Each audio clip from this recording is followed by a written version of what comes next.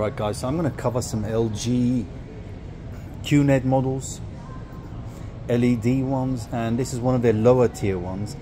I mean, for the price, it's okay, I guess, because it's only 900 bucks. Would you take this? No. Because the TCL and the Hisense is just ridiculously much better than this. Which model am I talking about? I'm talking about the top Hisense U, even last year's top model is a lot better than this. Last year's model would whoop this thing. In fact, it would probably even whoop the QNED 99 that came out this year in 2023. But this is a low model because after this you get the 80, you get the 85 and then the 99. So this is a low end model. It's only 900 bucks, but that's expensive in today's money because we personally were able to pick up the Hisense uh, uh, the K model. No, the H model, sorry, last year's 2022, and it's still stunning. It's as good as this year's model. It's hard to tell the difference. But again, we're going to cover the LGs now. Again, this is a picture of the, the 75 QNED.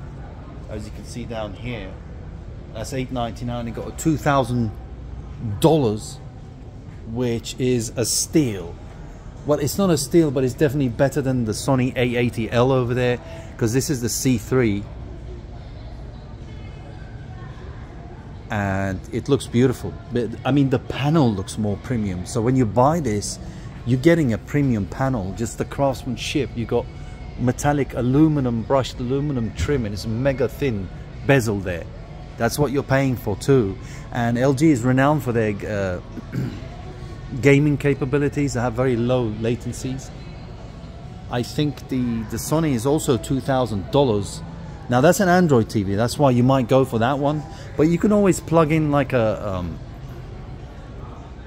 you know, an Android box like Google Chrome. You can plug it in the back of it, which is what we do. We have an older LG uh, OLED TV and we just plug Google at the back of it. We don't even bother with the operating system of the LG because it auto senses the content anyway.